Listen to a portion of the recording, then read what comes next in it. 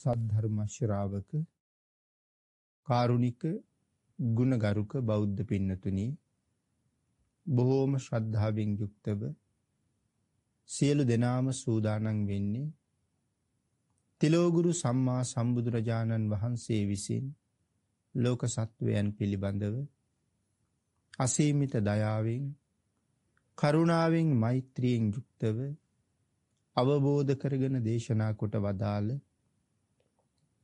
පරම ගම්බීර වූ ශ්‍රී සද්ධර්ම රත්නයෙන් ඊ타මත්ම පුංචි කොටසක් දේශනා කරවගෙන ධර්ම ගෞරවය පෙරදරි කරගෙන දේශනාගත ධර්මයේ ශ්‍රවණය කරන්නත් ධර්ම ශ්‍රවණය කිරීමෙන් ලැබෙන අවවාද අනුශාසනා තම තමන්ගේ ජීවිතවලට එකතු කරගෙන වඩාත් නිවැරදි මෙලව ජීවිතයක් සකස් කරගන්නත් ඒ තුළින් සුගතිගාමී වූ පරලොව ආයිති භවයකින් සැනසෙන්ඩ ප්‍රාර්ථනා කරන බෝධීන් සැප සහිත ප්‍රතිපදාවෙන් ඉතාම ඉක්මං භවයක මේ සංසාරය කෙරවල කරගණ්ඩ කටයුතු කරන එක තමයි ඒ උතුම් බලාපොරොත්තුව.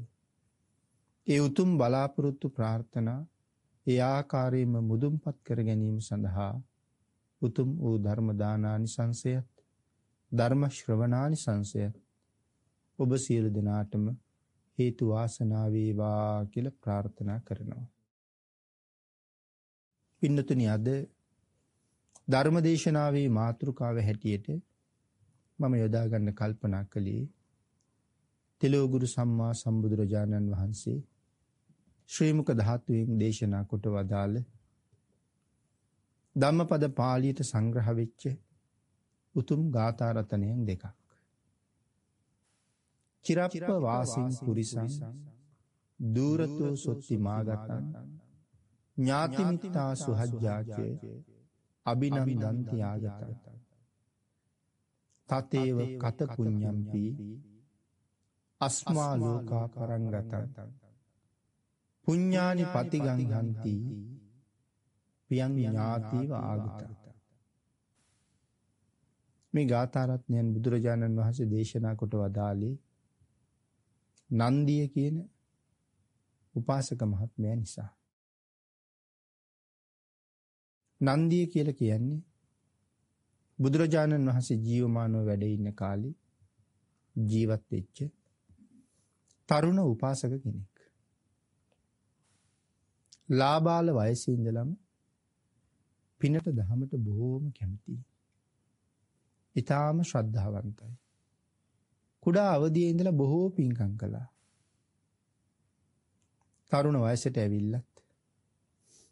ඒ තමන්ගේ පුුණ්්‍යකාමී ජීවිතය වෙනසක් නෑ ඒ විදිහටම ඉදිරියට කරගෙන යනවා.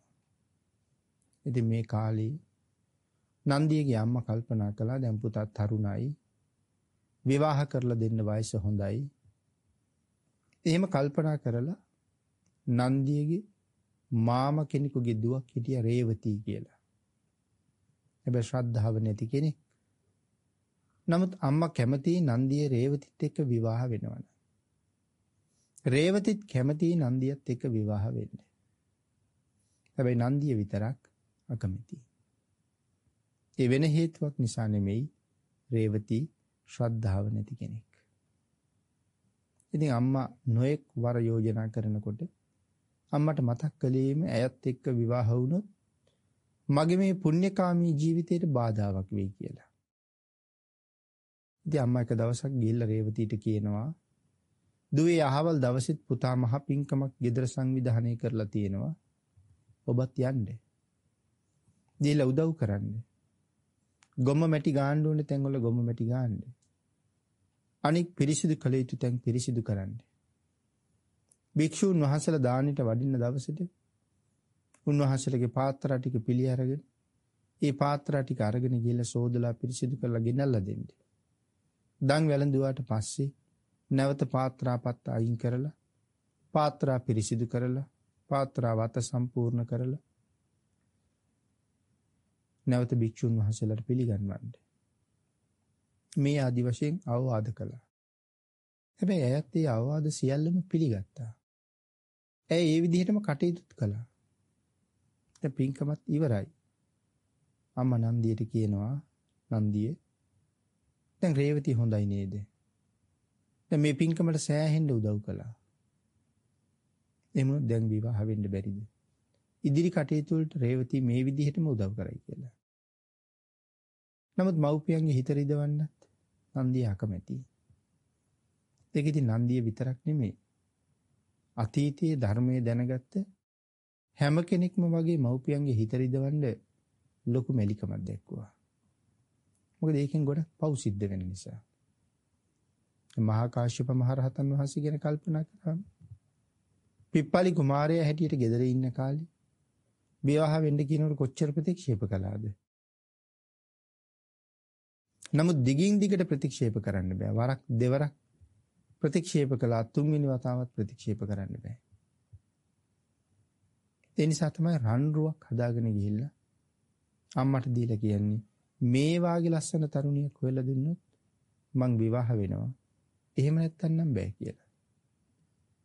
ඉතින් රන්රුවක් හදාගෙන ගියේ ඒ වාගේ අය නැති හින්දා. නමුත් අම්මා කොහොම හරි ඒ වාගේ කෙනෙක් හෙව්වා.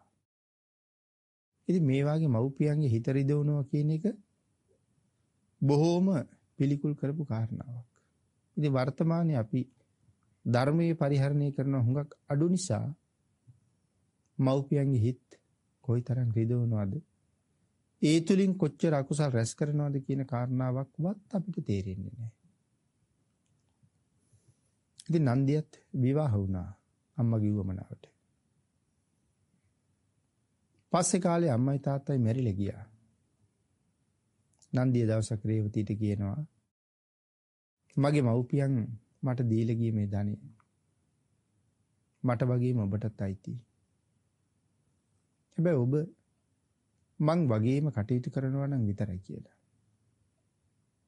ඉතින් කොහොමත් පස්සේ කාලේ රේවති පිනට දහමට බොහොම විරුද්ධව වැඩ කළා. නන්දි එක දවසක් කාරණාවකට ගමෙන් බැහැර වුණාට පස්සේ දවස් කිහිපයකට ආගන්තුකයන්ට දෙන දන් භික්ෂූන්ට දෙන දන් වැට ඒ ඔක්කොම රේවති නැති කරලා දැම්මා. පස්සේ රේවති පණ පිටින් නිරේට අරන් ගියා. කෙසේ වෙතත් නන්දිය නන්දියගේ පින්කම් ටික කරගත්තා.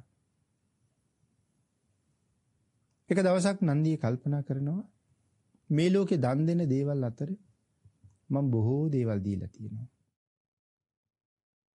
නමුත් මට තව දෙන්න බැරි වෙච්ච පූජා කරගන්න බැරි වෙච්ච දෙයක් තමයි මේ කුටි සේනාසනයක් හදලා පූජා කරන්න බැරි වුණා.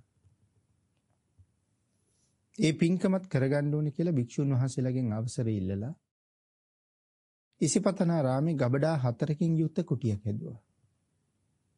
කුටිය වැඩ ඉවර කරලා බුදුරජාණන් වහන්සේට ආරාධනා කරලා භාග්‍යතුන් වහන්සේ වැඩමවලා ඒ කුටිය අතපැන් වක් කරලා බුදුරජාණන් වහන්සේට පූජා කළා. නන්දියේ මෙහි අතපැන් වඩලා කුටිය පූජා කරනකොට නන්දිය වෙනුවෙන් දිව්‍ය ලෝකේ මහා දිව්‍ය මාලිගාවක් පහළ වුණා.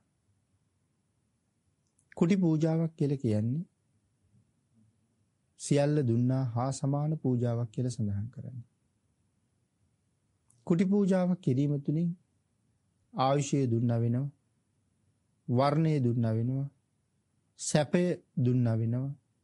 බලය වගේම ප්‍රඥාවද ලබා දුන්නා වෙනවා. මේ පංචවිධ කාරණාව අපි නිතර නිතර අහන්නේ දන් දීපුවහම. ඒ කියන්නේ ආහාර දන් දුන්නාම ලැබෙන කාරණා පහක් තමයි මේ සඳහන් කළේ. ආයුෂයයි, වර්ණයයි, සැපයයි, බලයයි, ප්‍රඥා. ඒතර කුටියක් පූජා කරාමත් කොහොමද ආයු වර්ණ සැප බල ප්‍රඥා ලැබෙන්නේ? ඒ කාරණා විස්තර කළා.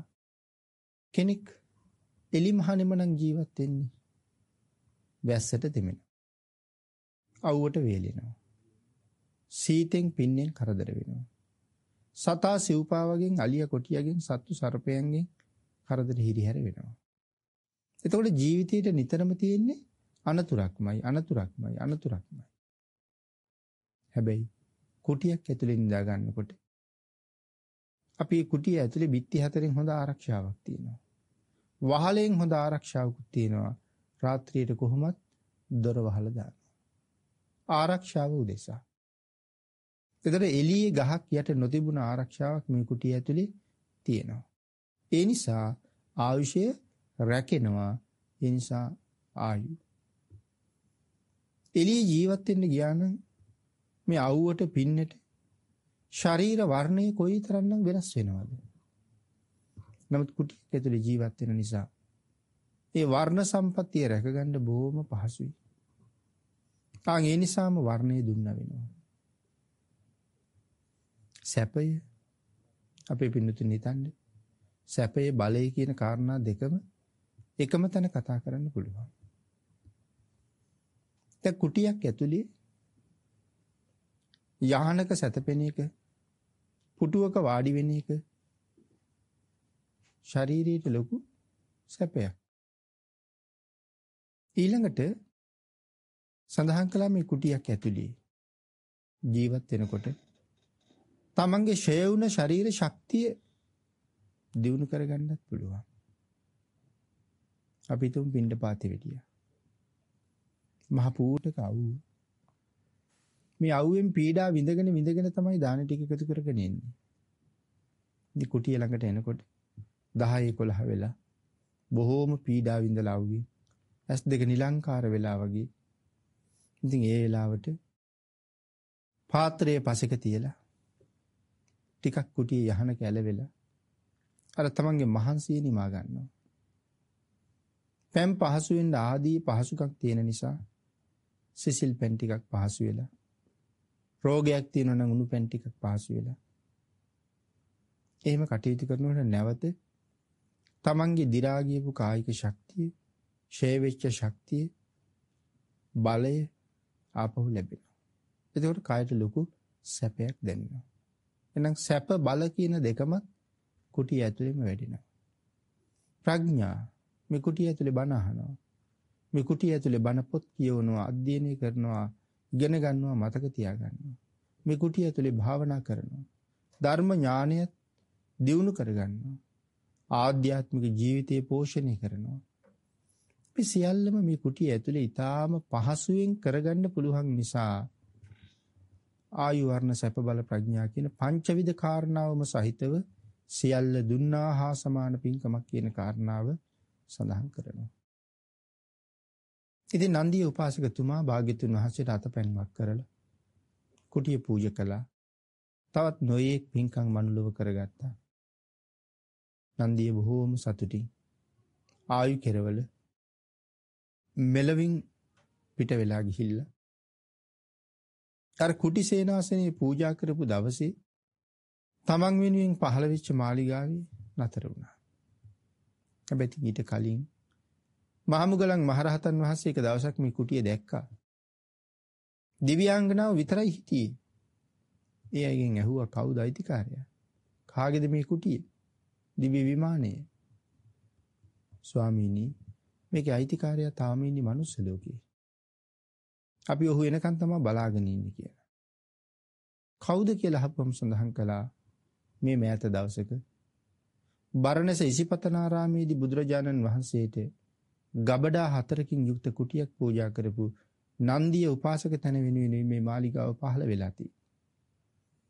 ස්වාමීනි මනුලොවට වැඩිහම ඔහුට කියන්නේ මනුස්ස ජීවිතය කියලා කියන්නේ මැටි බඳුනක් වගේ එකක්. නමුත් දිව්‍යමය ආත්මයක් කියලා කියන්නේ රම් බඳුනකට සමානයි. ස්වාමීනි නන්දියට කියන්න මැටි මැටි බඳුන පස්සෙක දාලා මේ රන් බඳුන වෙනුවෙන් එන්න කියලා. ඉතින් මේ කාරණත් අහගෙන මහරහතන් වහන්සේ බුදුරජාණන් වහන්සේ ළඟට ගිහිල්ලා බුදුරජාණන් වහන්සේට කාරණාව කියලා අහනවා ස්වාමීනි මනුස්ස ලෝකේ ජීවත් වෙන කෙනෙක් වෙනුවෙන් දිව්‍ය ලෝකේ මාලිගා මැවෙන්න පුළුවන්ද කියලා. අපේ වාග්යතුන් වහන්සේ අහන්නේ මොග්ගල්ලාන තැනට ගිහිල්ලා මාලිගාව දැකලා කතා බහ කරලා කාගේද කියලා දැනගෙන තව ඇවිල්ලා මගෙන් අහන්නේ මොනවද කියලා. එහෙමයි ස්වාමීනි. එහෙමයි කියලා අනුමත කළා. එතකොට තාමත් මෙහි ජීවත් වෙන අය වෙනුවෙන් දෙව්ලොව විමාන විමාන පහළ වෙනවා පුණ්‍යවන්තයන්ට. කියන කාරණාව දේශනා කරමින් අපේ භාග්‍යතුන් වහන්සේ අර ගාථා රත්නයන් දෙක පැහැදිලි කළා. චිරප්ප වාසින් පුරිසං දූරතෝ සොත්තිමා ගතං ඥාති මිත්තා සුහජ්ජාචේ අභිනන්දන්ති ආගතං. කොහරද මේ චිරප්ප වාසී කියලා කියන්නේ? දුර රට. එහෙම නැත්නම් පිට රට. පිට රටක ජීවත් වෙන පුරුෂයෙක් චිරප්ප වාසීන් පුරිසං දූරතෝ සොත්තිමා ගතං ඒ දුර ගෙවලා ඒ දුරු රටින් ආපහු එනවා සොත්තිමා ගතං ආපහු වෙනවා. කොහාටද තමන්ගේ රටට. එතකොට නෑදෑයු දෙමව්පියෝ සහෝදර පිරිස ස්වාමි භාරියාව මේ ඇයට තියෙන පුදුම පුදුම සතුටක්. එතකොට ඒ අය පෙරමකට ගිහිල්ලා එක්කෙන්නත් යනවා. ඥාති මිත්තා සුහජ්ජාච අභිනන්දන්ති ආගතං. ඒ ඥාතින්ට තියෙන පුදුම සතුටක් තමන්ගේ නෑ ආපහු වෙනවා කියලා දැනගත්තාම. දෙවනි ගාථාවෙන් දේශනා කළා. තමන්ගේ ඥාතීන් තමන්ගේ ඥාතියා පිළිගන්න සූදානම් වෙනවා වගේ. තතේව කත පුඤ්ඤම්පි. ආන් ඒ වාගේ තමයි කරන ලද පින්. අස්මා ලෝකා පරංගතං. මේ ලෝකේ අත්හැරලා පරලොවෙන් පුජ්‍යලයාව පිළිගන්න. සූදානම් වෙන්නේ කොයි වගේද? ප්‍රිය ඥාතීන් තමන්ගේ ඥාතියා පිළිගන්න මෙහි සූදානම් වුණා වගේ අපි කරන ලද මේ කුසල් අපි මෙහෙන් මැරිලා එනකොට පිළිගන්න එහෙදි බලාගෙන ඉන්නවා කියලයි මේ කියන්නේ. එතකොට පින්නතුනි මේ කාරණාවෙන් අපිට බුදුරජාණන් වහන්සේ විශේෂ අවවාදයක් කළා. මේ ලෝකේ ජීවත් වෙන අය මොනවද කරගත යුත්තේ? මොකටද අපි මේ ලෝකෙට ආවේ? මේ ලෝකෙට ආපු අය කල යුත්තේ මොන වගේ දේවල්ද? ඇත්තටම අපි මෙහි එන්නේ ඇත්තේ මොකටද? නොඑක් නොඑක් දිහාවල් වල ඉඳලා ආවා. සමහර අය දෙව්ලොවින් ආවා. සමහර අය සතර පායෙන් ආවා. මේ කොහෙන් කොහෙන් හරි ඇවිල්ලා පෙර පින් වලට අනුව මෙහි නතර වෙලා.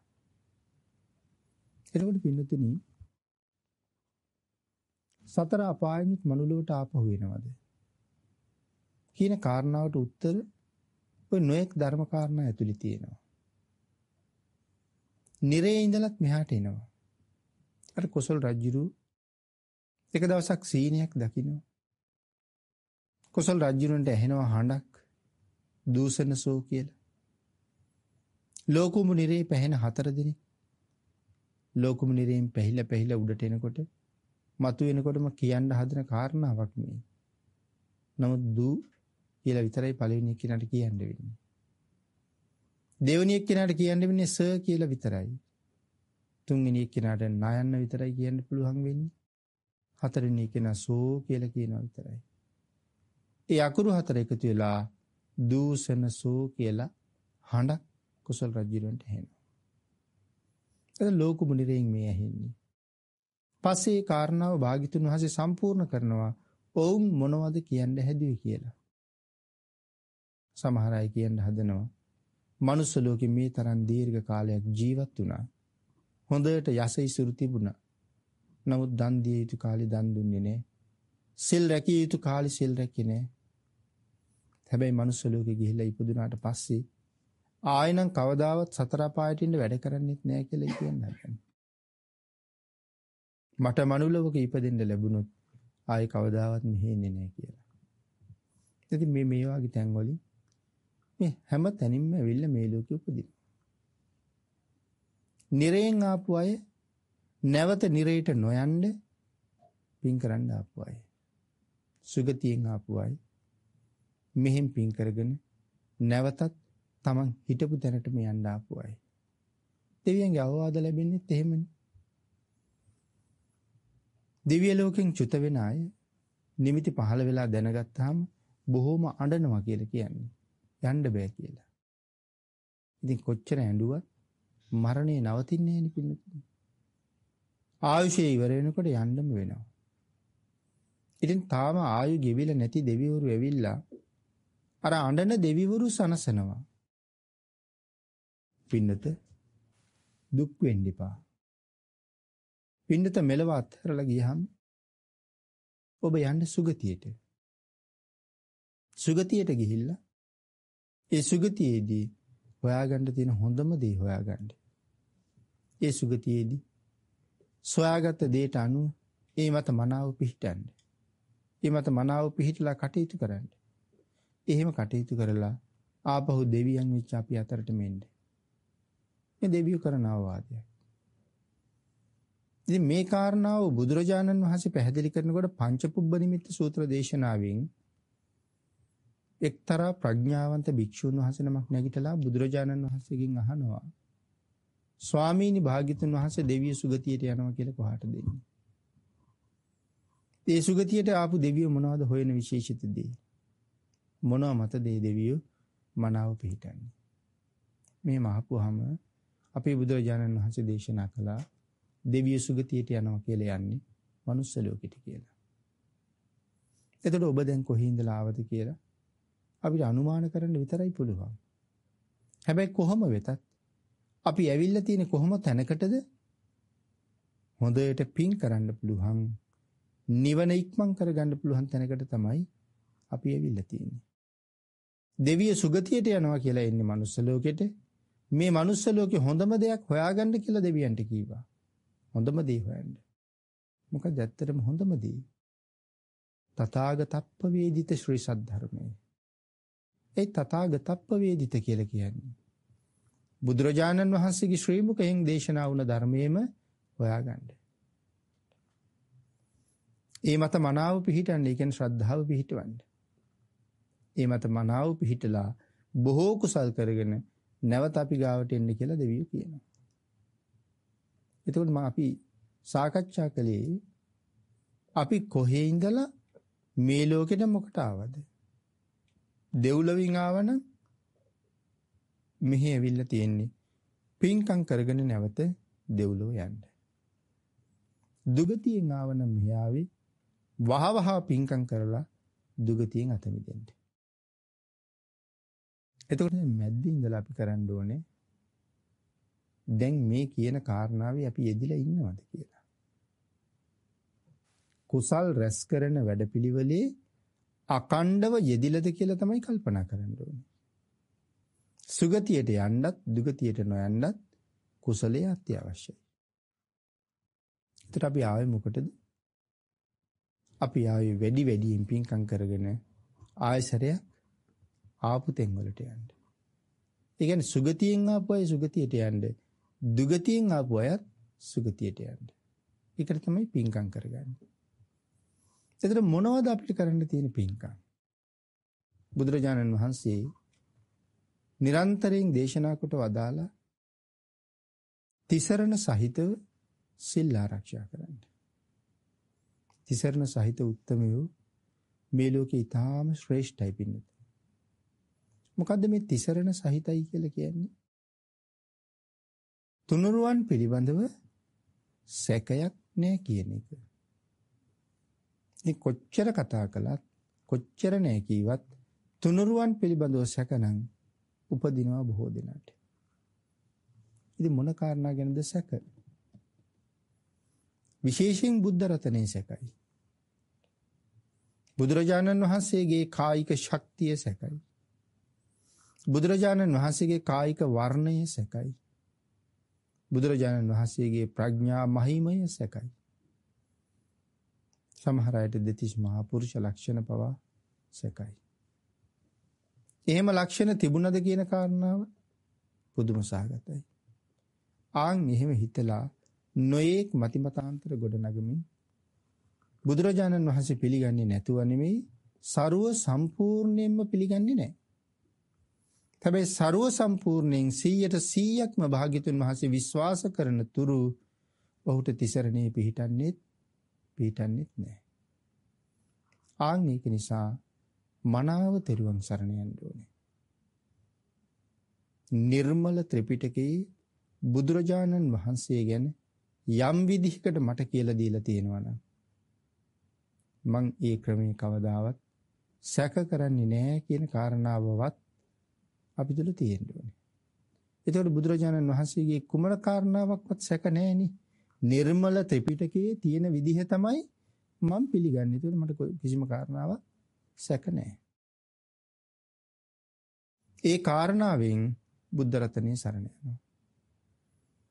බුදුන් සරණ යෑමම දහම් සඟුන් නිකම්ම සරණ යෑමයි.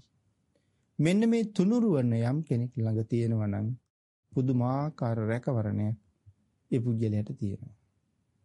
කොයි වගේ රැකවරණයක්ද? යේකේචි සරණං යේකේචි බුද්ධං සරණං ගතාසි නතේ ගමිස්සන්ති අපාය භූමි යමෙක් බුදුන් සරණ ගියා නම් නතේ ගමිස්සන්ති අපාය භූමින් යන්නේ නැහැ කවදාවත් ආයේ අපායට පහාය මානුසං දේහං යම් දවසක මේ මනුස්සකයින් ප්‍රාණවායුව නික්ම යනවත් එක්කම දේව කායම් පරිපූර්ණසන්ති ඔහු උපදින්නේ කොහෙද? දෙව් පිරිස අතරයි. තෙරුවන් සරණ යෑමේ වැදගත්කම. මේ වාග්ය තියෙන අය මේ ලෝකේ කීයෙන් කී දෙනා දින්නේ මිත්‍යා දෘෂ්ටිකායම වැඩි. සම්මා දිට්ඨිකාය සුළු ප්‍රමාණයයි. ඒ සම්මා දිට්ඨිය තියෙනවා තියෙනවා කියන අය ළඟත් තිසරණේ හරියටම පිරිසිදු නෑ. ඊටාම ස්වල්ප පිරිසක් තමයි ධර්මානුකූලව දැනගෙන තිසරණේ පිරිසිදු කරගෙන ජීවත් වෙන්නේ. නමුත් යමෙක් ළඟ හරියටම තිසරණ තියෙනවා නම් මැරිච්ච ගමන් කොහෙද උපදින්නේ? දෙව්ලොව උපදිනවා. ඊළඟට සඳහන් කළා යම් කෙනෙක් මනාව සිල් රකින්නත් ඕනේ. තිසරණේ තියෙන්නත් ඕනේ. සිල් රකින්නත් ඕනේ. අපිට තියෙනවා නিত্য වූ සීලයක්. ඒක කවදාවත්ම අත්හරින්න බෑ. ඒ නিত্য වූ සීලය ඇඟෙන් කොටසක් වගේ හැමදාම තියෙන්න ඕනේ. මොකද්ද අපේ නিত্য වූ සීලය? ඒ තමයි පන්සිල්. බුදුරජාණන් වහන්සේ කොතනවත් පන්සිල් උල්ලංඝනය කරන්න කියලා කාටවත් ඉඩක් තියලා නැහැ. දිවි හිමියෙන් පන්සිල් රකින්න කියලා මග පෙන්වුවා විතරයි. කාරණා පහයි. මේ කාරණා පහ දිවි හිමියෙන් ආරක්ෂා කරන්න කියලා සඳහන් කළේ මේ කාරණාවන්ගෙන් එකක්වත් උල්ලංඝනය වෙනවනම් අපි අතින් සතර අපායේ දුක් විඳින්න ඒක මහා හේතුවක් බවට පත් වෙන නිසා. මොකද පන්සිල් කියලා කියන්නේ බුදුරජාණන් වහන්සේ අපේ හික්මීම උදෙසා පනවපු කාරණා ටිකක් නෙමෙයිනේ. පන්සිල් කියලා කියන්නේ එහෙම කාරණා ටිකක් නෙමෙයි බොහෝ දේශනාවල් වල පැහැදිලි කළා. පන්සිල් කියලා කියන්නේ ලෝකවද්දි ශික්ෂාපද. ලෝකයට අයත්. ලෝකේ නීතියක්. සත්තු මරන්න එපා. ලෝකේ නීතියක්. ඒ කියන්නේ ස්වභාව ධර්මයගේ ලෝකේ නීතියක්. මේ ආදි වශයෙන් හොරකම් කරන්න එපා. වැරදි කාම සේවනය. ඒ වගේම මුසාව, සුරාව මේ දේවල් තහනම් කරලා තියෙනවා. යම් කෙනෙක් මේ උතුම් සීලය ආරක්ෂා කරනවා නම් අන් ඒ පුද්ගලයා මෙලව බොහෝසේ සතුටු විය යුතු කෙනෙක්. හේතුව මරණයත් එක්කම නින්දෙන් ඇහැරුණා වගේ සුගතියේ ඉන්න නිසා. ඊළඟට පින්නතුනි දසදාන වස්තුවකුත් බුදුරජාණන් වහන්සේ දේශනා කළා. තිසරණ සහිතව පන්සිල් ආරක්ෂා කරගෙන දසදාන වස්තුව සම්පූර්ණ කරගන්න පුළුවන් නම් ඒ පුජ්‍යලයා ජීවිතේ කිසිම කාරණාවකට බය නැති කෙනෙක්. අපි කියමු සිල් ආරක්ෂා කරලා හොඳ තැනක ඉපදුනා කියලා. ඉතින් ඒක මං හිතන්නේ බණ අහන පිරිස දන්නවා හොඳට. මේ ලෝකෙන් මැරෙන කෙනෙක්, චුත වෙන කෙනෙක් නැවත උපදින්නේ කොහෙද? ඉපදිය යුත්තේ කොහෙද? කියන කාරණාව තීරණය කරන්නේ කවුද? සීලය. මේ සීලය තමයි මොහු යායුත්තේ මේ යායුත්තේ කොතෙන්ටද කියලා තීරණය කරන්නේ. උපදින තැන. දානය මොකද්ද කරන්නේ? දානය කරන්නේ ඉපදුනාට පස්සේ ලැබෙන දේ තීරණය කරනවා. මොහුට ලැබිය යුත්තේ මෙපමණයි. මොහුට ලැබිය යුත්තේ මේ මේ විදිහයි. කියන කාරණාව දානින් තීරණය කරනවා. තිසරණ සහිතව සිල්වත්ව දම්පැන් පූජා කරමින් ජීවත් වෙන කෙනා මරණයට බය නැති කෙනෙක් කියලා අපි සඳහන් කළේ ඒකයි. ඒ මරුණට පස්සේ උපදින්නේ මීට වඩා හුඟක් හොඳ තැනක. උපදින තැන මීට වඩා හොඳ නම් කවුද අකමැති හිපදින්න? අන් ඒ වාගේ ගාථාරත්නයේ සඳහන් කළා චිරප්ප වාසින් පුරිසං දූරතෝ සොත්ති මාගතං දුර රටක ජීවත් වෙන අපේ ඥාතියා ආපහු තමන් අතරට එනවා කියලා කියහම අපිට තියෙන පුදුම සතුටක්. මේ ලෝකේ ජීවත් වෙන පුජ්‍යලයා මෙලවදී බොහෝ කුසල් රැස් කරගත්තාම ඒ පුජ්‍යලයා මරණින් මත්තේ සුගතිය උපදිනවා. කරගත්ත කුසල් වලට සමානුරූපීව බොහෝ සැප සම්පත් සහිතව. ඉතින් මීට වඩා ඊටාම හොඳ තැනක මාව උපද්දවන්න මේ සීලයට හැකිනම් ඒ උතුම් සිල් ගුණ ආරක්ෂා කරන්නේ නැතුව යමෙක් කටයුතු කරනවා කියලා කියන්නේ ඔවුන් ඒකාන්තයෙන් Tamanට ආදරේ නෑ කියන එකයි. Tamanගේ ජීවිතයට වග කියන්න ඕනේ තමන්මයි. වෙන කාටවත් ඒ වැඩේ කරන්න බෑනේ. මගේ ජීවිතයට වග කියන්න ඕනේ මමම තමයි. ඒතර මම මට ලෙන්ගතු නම් මම මට ආදරේ නම් අජේව කිච්ඡං ආතප්පං අද කළ යුතු දේ අදම කරනවා. ඒ මොකද හේතුව කෝජඤ්ඤා මරණං සුවේ කවුද දන්නේ හෙට ඉඳීද කියලා. ඒ හින්දා අද කළ යුතු දේ අදම කරගන්න කටයුතු කරනවා ඥානවන්තයා. බුදුරජාණන් වහන්සේ දේශනා කළා මහණෙනි මෙලව පින්කම් කරන අය මෙලවත් හැරලා එනකන් නෑදෑය පිළිගන්න ඥාතීන් බලාගෙන හිටියා වගේ පෙර කරන ලද කුසල් ඔහු පිළිගන්න බලාගෙන ඉන්නවා කියලා. මොකද අපි කරපු පින් රැස් වෙලා තියෙනවා සුගතිය. ඒ පින බලාගෙන ඉන්නවා.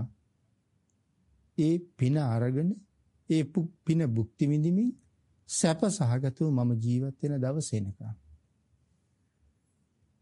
එතකොට අපි කල්පනා කළ යුත්තේ ඉස්සල්ලත් සඳහන් කළා අපි ආවේ මොකටද කියන කාරණාව තීරණය කරන්න ඕනේ කියලා. දැන් කල්පනා කරන්න ඕනේ.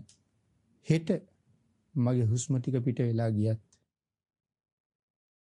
උපදින්න ඕන තැන මේ වෙනකොට මම වෙනස් කරගන්නද කියලා. අපි වෙනස් කරලා නැත්තම් වෙනතනි දුගතියට යන්න පුළුවන්. ඉගෙන පින්කම් කරගෙන නැහැ සිල් රැකලා නැහැ. හැබැයි වෙනස් කරගෙන නම් වෙනස් කරගෙන නම් ඒ පුජ්‍යලයා මරණයත් එක්කම තමන් වෙනස් කරගත්ත තැනට යනවා. මම කියන්න හැදුවේ පෞද්ගලිකව අපි අපි අපෙන් විමසලා බලමු. දැන් ජීවිතෙන් සමුගත්තොත් කොහෙද යන්නේ කියලා දන්නවද? සතර අපායට කියලා දැනගත්තොත් කොහොම වැඩ කරයිද? මිගලන්තිගගේ කතාව අපි අය අහලා ඇති මම හිතන්නේ. මිගලන්තික කියන්නේ වැද්දෙක්. දවසකට උගුල් 100ක් විතර හදනවා. එක දවසක් වැද්දා උගුල් ලෙහන්න යනකොට කල්පනා කරනවා අද නම් කිසියම් සතෙක් කිසියම් උගුලක හිටියොත් එතනම මරාගෙන පුච්චලා කාලයි එන්නේ කියලා. ඉතින් ඒ වගේම සතෙක් ඉන්නවා. සතා පුච්චලා ආහාරයට ගන්න කියලා ලෑස්ති වෙනවා විතරයි. දරා ගන්න බැරි තරම් පිපාසයක් ආවා. වතුර හොයාගෙන හොයාගෙන හොයාගෙන හැම තැනම ඇවිද්දා. ලිඳක් ගාවට එනකොට ලිඳ හින්දෙනවා. වැවක් ගාවට එනකොට වැව හින්දෙනවා. අන්තිමට ගියා සිතුල් පවුවට. සිතුල් පවුවේ රහතන් වහන්සේලා දහස් ගණන් වැඩ හිටපු තැනක් තැන් තැන් වල පැන් වාජන තියෙනවා. මිගලන්තික ගිහිල්ලා වගේ පැන් ගන්න ගියා මේක කෙන්ඩියකවත් වතුර නැහැ. කේන්ති ගියා. සංඝයාට බැන්න. මෙච්චර පිරිසක් මෙතන ඉන්නවා බොණ්ඩ වතුර ටිකක් නෑ කියලා. රහතන් වහන්සේ ඇවිල්ලා බලහම පැම් වාජන වතුරින් පිරීලා. රහතන් වහන්සේ කල්පනා කරනවා මොකක් හරි කර්මයක් මොහුට විපාක දෙනවා. උන්වහන්සේ දකිනවා දැනටත් මිනිස්්‍ය ප්‍රේතෙක් වෙලා ඉන්නේ. ඔට සඳහන් කළ ඔබ දැනටත් මිනිස්්‍ය ප්‍රේතෙක්. අනි ස්වාමීනි මට එකින් මිදෙන්න ක්‍රමයක් නැද්ද. එකම ක්‍රමයයි තියෙන්නේ. දැන් මිනිස්්‍ය ප්‍රේතෙක් හැටියට මැරුණොත් මරුණ ගමන්ම දුගතියේ උපදිනවා. එතකොට ඒ දුගතියෙන් බේරෙන්න තියෙන එකම ක්‍රමය කුසල් රැස් කරගෙන සුගතිගාමී වෙන්න කටයුතු කරන එක. එතකොට මේ ලෝකේ ජීවත් වෙන කෙනෙක් බොහෝ කුසල් දහම් රැස් කරගෙන කුසලයෙන් පෝෂණයටපත් වෙලා තමන්ගේ ආධ්‍යාත්මික ධනය වැඩි වැඩියෙන් එකතු කරගත්තා නම් මිගලන්තිකට වෙච්ච දේ අපිට වෙන්නේ නැහැ. මිගලන්තික නම් මනුෂ්‍ය ප්‍රේතයෙක් වෙලා මරණයෙන් පස්සේ නිරේට යන්න සූදානම් වෙලා ඉන්න බව රහතන් වහන්සේ නමක් කීවා. එද අපි මැරුණට පස්සේ යන්නේ කොහෙද කියන කාරණාව කියන්න රහතන් වහන්සේලා ඉඳී දෙතන. එහෙනම් තාමත් දන්නේ නැහැ යන්නේ කොහාටද කියන කාරණාව. හැබැයි බුදුරජාණන් වහන්සේ අපිට කියලා දීලා තියෙනවා මෙන්න මේ විදිහට ජීවත් වෙන්න. එතකොට යන තැන නිශ්චිතයි, ස්ථිරයි කියලා. කොයි විදිහට ජීවත් වෙන්නද? තිසරණයි, පන්සලුයි සහිතව හැම වෙලාවෙම දානේ දස දාන වස්තුව පෝෂණය කරගෙන කෙනෙක් ජීවිතේ ගොඩනගා ගන්න කියලා. එහෙම ජීවත් වෙච්ච කෙනෙක් බය නැහැ. ඉතින් මිගලන්තික මනුෂ්‍ය ප්‍රේතෙක් රහතන් වහන්සේ සඳහන් කළා ඔබ දැන් මනුෂ්‍ය ප්‍රේතෙක් වෙලා ඉන්නේ. අනේ ස්වාමීනි බේරෙන්නේ කොහොමද මහාන වෙන්න ඕනේ? මාව මහාන කරන්න බැරිද කියලා එහෙම මහාන කෙරුවා. මහාන කරවලා සඳහන් කළා ස්ථාන තුනක වත් කරන්න ඕනේ කියලා. දඬුවමක් කළා. සිතුල් පව්වෙයි කතරගමයි තවත් ඔය අතර තියෙන තැනකුයි පෙන්නනවා මෙන්න මේ ස්ථාන තුනේ දවස ගානෙමවත් කරන්න. බලන්න කොච්චර පයින් යන්න ඕනේද? කොච්චර කැපකිරීම කරන්න ඕනේද ගිහිල්ලා. මෙහෙම කටයුතු කරන අතරේ මිගලන්තික දවසක් රහතන් වහන්සේගෙන් අහනවා ස්වාමීනි අපායේ ගින්දර පෙන්වන්න බෑද? සඳහන් කළා බෑ. ගින්දර පෙන්වන්න බෑ. ගිනි පුපුරක් පෙන්වන්නම් කියලා. මිගලන්තික හා කීවා. මිගලන්තිකට කිව්වා විශාල අමු දැව කඳන් ගොඩක් ගොඩ ගහන්න කියලා. කැලෙන් කැලෙන් හොයාගෙන එලා අමු ගස් ගොඩක් ගොඩ ගැහුවා. ස්වාමීනි හරි. රහතන් වහන්සේ ඒ වෙලාවේ ළඟට ඇවිල්ලා එහෙනම් හොඳට දරගොඩ දිහා බලා ගන්න කිව්වා. ඔක්කොම අමු කඳන්. නිරයෙන් අරගත්ත එක ගිනි පුපුරක් අර අමු දෙව කඳන් ගොඩ උඩට දැම්මා. සඳහන් කරනවා දෙව කඳන් අලු වෙනවත් ගිනි පුපුර වැටෙනවත් දෙකම එකට සිද්ධ වුණා කියලා. ඒකෙන් පැහැදිලි කරනවා ගිනි පුපුරකට පුළුවන් නම් මේ අමු දෙව කඳන් ගොඩ ඇහි පිල්ලම් ගහන මාත්‍රයට පුළුස්සන්ඩ නිරේ ගින්දර කොහොම ඇද්ද කියන කාරණාව හිතන්න ඕනේ මිගලන්තික නම් බය වුණා. අපි බය නෑ. මිගලන්තික බයයි. අපි බය නැති බව සමාජයේ ඉන්නකොට ඕන තරම් අපිට පේනවනේ. මිගලන්තික ස්ථාන තුනක වත් කරලා හවස ඇවිල්ලා භාවනා කරනවා. භාවනා කරන්නත් පුළුවන් ඇද්ද? දවස ගානෙම පයින් ඇවිද ඇවිද වත් කර කර බෑ ඉඳගත්ත ගමන් නිින්ද යනවා. ඒ වෙහෙසයි දවල් තිස්සෙම. නමුත් නිරේ ගිනි දැල්වල ස්වභාවය දැකලා බයයි. ආන් ඒක නිසා විශේෂයෙන් උත්සාහ කළා සුගතියක් හොයා ගන්න ඕනේ කියලා. පිදුරු කට්ට පිදුරු තියෙන තැන් වලට ගිහලා කට්ට බැඳලා ඒ කට්ට උදේට දාන වතුරේ. රැයට ඔක්කොම ඉවර වෙලා ඇවිල්ලා පිදුරු කට්ටයක් ඔළුව උඩ තියාගෙන භාවනා කරනවා. නිින්ද යන හින්දා. තවත් නිදිමත උත්සන්න වෙනකොට ඒ ක්‍රමෙත් අසාර්ථකයි. කරවටක් වතුරේ බැහැලා භාවනා කරනවා. දවසක් තමන් ඉන්න තැන කඳු වලල්ලකින් වට වෙලයි තියෙන්නේ. ඒ කඳු උඩාරියන් වහන්සේලා වැඩ ඉන්නවා. උන්වහන්සේලා ආරබත, නික්කමත, යුඤ්‍යත බුද්ධ ශාසනී මෙන්න මේ ගාථාව කියන වැහෙනවා. ආරම්භව නික්මෙව් යෙදෙව් මේ ශාසනය තුල. සිල් ගුණදම් පිරීම ආරම්භව. මේ කාරණා ටික පැහැදිලි කරලා දීලා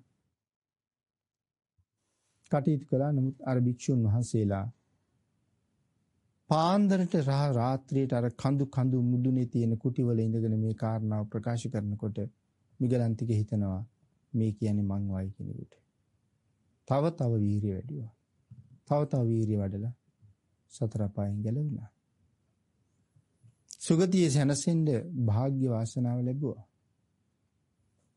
ඉතින් ඒ වගේ අපිටත් නිරේ යම් ප්‍රමාණයක් හරි ස්වල්ප මාත්‍රයක් හරි දැක ගන්න අවස්ථාව ලැබිලා තිබුණා නම් ඇත්තටම මේ ලෝකේ මේ ජීවිත මීට වඩා හාත්පසින්ම වෙනස් වෙනවා. නමුත් භාග්‍යතුන් වහන්සේ කාරණාව දේශනා කරලා තියෙන ਸਰවඥතා ඥාණයෙන් සැක නැහැ ඒක කාරණාවක්වත්. මේ ලෝකෙට ආපු අපි සතර පායට යන්න නෙමෙයි මෙහි ආවේ.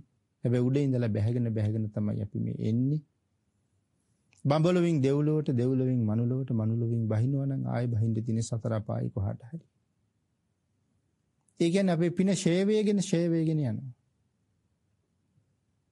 නිසා නැවත නැවත පින්කම් කරලා සිල් ගුණ ආරක්ෂා කරලා ෂේ වෙන තමන්ගේ කුසල ශක්තිය නැවත දියුණුවෙන් දියුණුවට පත් කරගෙන වඩා වර්ධනය කරගෙන මෙලව සුවපත් කරගත්ත කෙනෙක් බවට පත් වෙලා සතුටින් සුගතිගාමීව පරලොව යන්න ජීවිතය පෝෂණය කරගන්න මේ ලැබිච්ච උතුම් ජීවිතය තුළින් අපිට භාග්‍ය ලැබෙන්න ඕනේ. අපිට මැරෙන මොහොතේ තනියම කල්පනා කළත් මගේ පස්සෙන් යන්න එන්නේ ඉන්නේ කවුද කියලා. අපිට පේනවා නම් අපි කරපු පින් කඳු යායක් වගේ ඈතට ඈතට ඈතට එකම පින්කම 10 12 වර සිද්ධ කරලා රැස් කරගත්ත කුසල් කඳු කඳු මෙවිල පේ. අන්න එදාට සුගතිය මිස දුගතිය අපෙන් ඈත් වෙනවා. ආන් එහෙම කටයුතු කරගන්න ලබාගත් මනුස්ස ජීවිතේ හරි වටිනවා. ඔබට සම්මාදිට්ඨික ජීවිතයක් ලැබිලා තියෙනවා. ඒ සම්මාදිට්ඨික ජීවිතය කියලා කියන්නේ භාග්‍යතුන් වහන්සේ පිළිගන්නවා. එවන් සම්මාදිට්ඨික ජීවිත ලැබෙන්නෙම කලාතුරකින් ප්‍රාර්ථනා කරලා තියෙනුනේ එහෙම ජීවිත ලබන්න. මිත්‍යා දෘෂ්ටික කුලයක ඉපදුනොත් අපි කවදාවත් සුගතියට යන තැනට භාජනය වෙන්නේ නමුත් ලද අවස්ථාවෙන් අපි ඒ හුඟක් ප්‍රයෝජන ගන්නෙ නෑ. ආන්ගෙන් ප්‍රයෝජන අරගෙන සතර පායෙන් අත මිදිලා සංසාරි සැපයෙන් සැපයට පත් කරගනිමින් බලාපොරොත්තු වෙන බෝධියෙන් අමා මහ නිවනින් සැනසෙන්නේ ඔබ සියලු දෙනාටම මේ පුණ්‍ය ධර්මයන්ගේ ආශිර්වාදය අඩු නැතුව අනුමෝදන් වේවා කියලා ප්‍රාර්ථනා කරනවා.